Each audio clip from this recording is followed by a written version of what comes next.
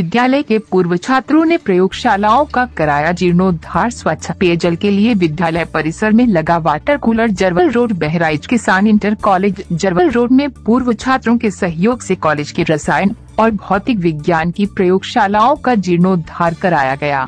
स्वच्छ एवं शीतल पेयजल हेतु विद्यालय परिसर में एक वाटर कूलर लगवाया गया।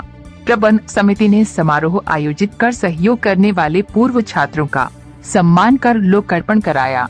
था। भगवती सिंह किसान इंटर कॉलेज जरवल रोड के पूर्व छात्रों ने विद्यालय के विकास में अपना योगदान दिया है। क्षेत्र के सपसा निवासी पूर्व छात्र अशोक कुमार सिंह ने रसायन विज्ञान प्रयोगशाला का जीर्णोद्धार और परसोहर निवासी गिरीश चंद्र अग्निहोत्री ने भौतिक विज्ञान प्रयोगशाला का जीर्णोद्धार कराया। विद्यालय की प्रबंध समिति ने विद्यालय के विकास में सहयोग करने वाले पूर्व छात्रों को समारोह आयोजित कर सम्मानित किया। रसायन विज्ञान प्रयोगशाला का लोकार्पण दिनेश कुमार सिंह तथा भौतिक विज्ञान प्रयोगशाला का लोकार्पण गिरीश चंद्र अग्निहोत्री ने किया।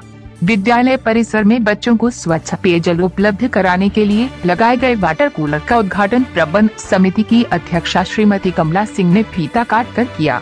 सम्मान समारोह को संबोधित करते हुए विद्यालय प्रबंध समिति के अध्यक्ष भूपेंद्र सिंह ने सहयोग के लिए पूर्व छात्रों को धन्यवाद देते हुए कहा कि विद्यालय के छात्र छात्राएँ को इसका लाभ मिलेगा।